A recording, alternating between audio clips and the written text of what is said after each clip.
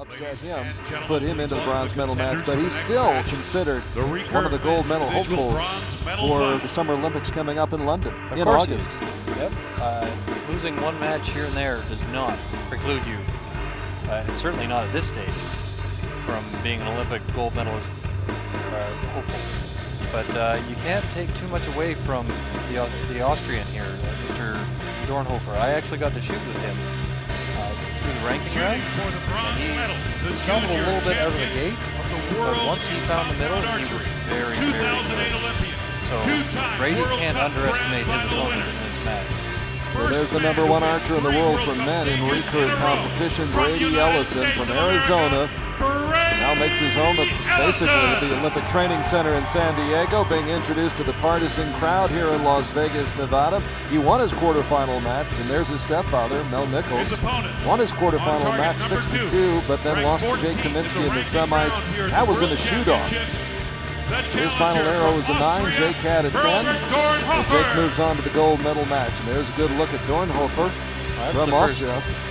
That'll be the first nine that Brady shot in a shootout match. in I don't know how World long. Archery International Judge Maria Larkina. Well, they came to Vegas focused on winning America's first individual recurve men's gold medal at a World Indoor Championship event, Brady Ellison, USA, shooting but first on now, target number one. as his sight sets on bronze. And that responsibility for that first American gold falls to Jake. Yes, it does. So Looks like they both step up. out.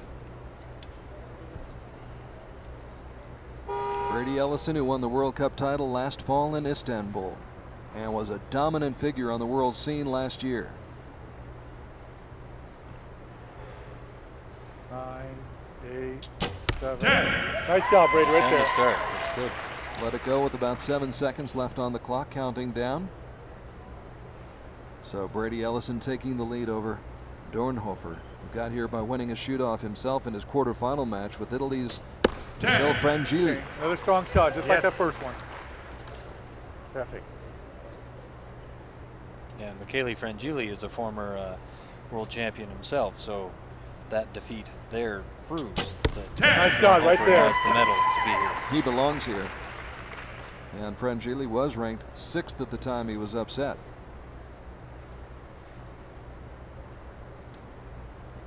Dornhofer losing his semifinal Okay. match to Marco Finishes Galiazzo, who we'll see again, momentarily, shooting an eight and falling Shoot behind then. here in the first set. Yep, and that's likely enough for Brady to take this first set. Hopefully Dornhofer can settle down. Eight, 10, 10, 10. Third 10, so that locks it up. Uh, Dornhofer can't, even if it's Brady just a nine, Dornhofer can't, set. has no chance to win this set or even split the set. Mr. Dornhofer will be So this is a great opportunity to just shoot a nice relaxed set. shot. Yes. Right in Ten points the shot must be listening. Dornhofer. Rebuild your confidence and get ready for the next one. Next one.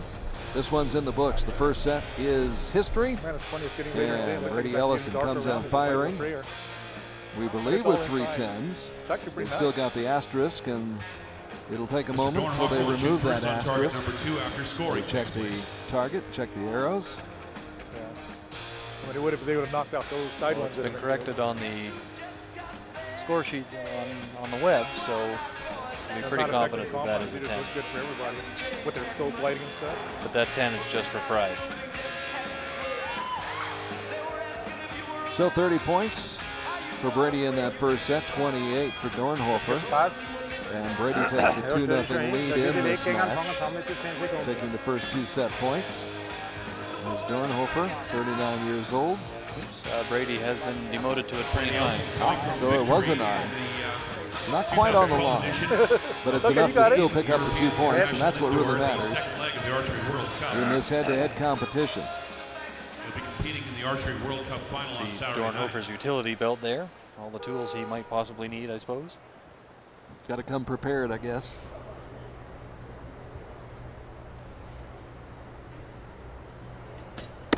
Nine. Okay, nice strong shot. All right, all like of his last round. shots have been slightly out to the right.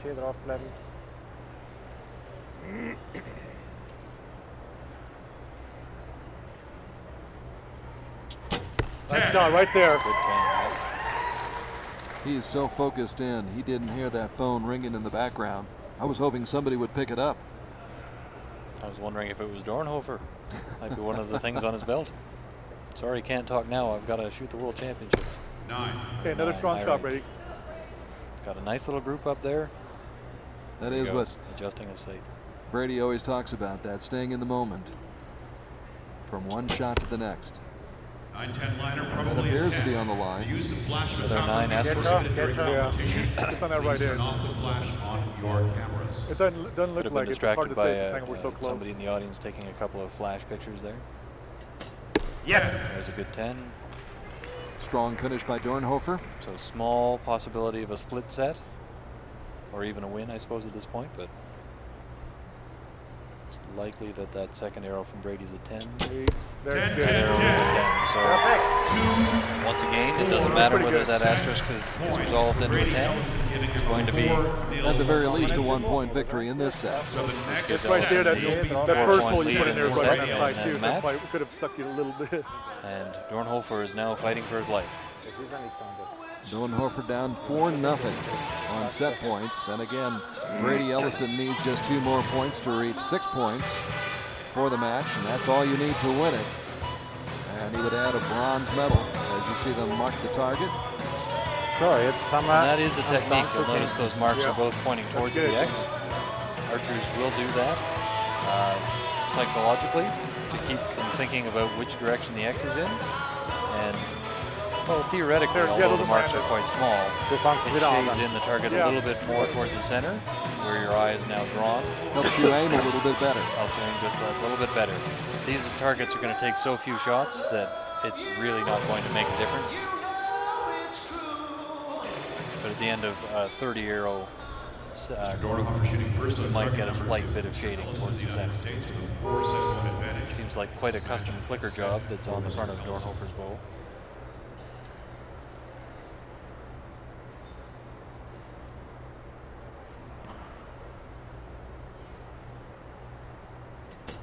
Okay, nice strong shot, Brady, just like the last last six minutes. Finish it off out to the right a little bit, but it's a little bit low this time. Which Brady opens the door for Brady. On your right. Ten. Nice shot. Grabs another 10. Yep, that's solid right there. Jumps out to the early lead in this set. Trying to make quick work of Dornhofer. Ten. That's Okay, another good strong shot. shoes. Good. Perfect. The pressure's starting to build on him, taking a deep breath. Ten. Good job right there. Good 10. Dornhofer needs a 10 to have a hope of pushing this to the next set. Ten. Yes. Good Okay, 10. finish That this a strong good shot here. So a nine would tie it. It's They'd split the that, no points. And Brady would go up 5-1. But he's trying to put this match away. With a 10, he'll win this.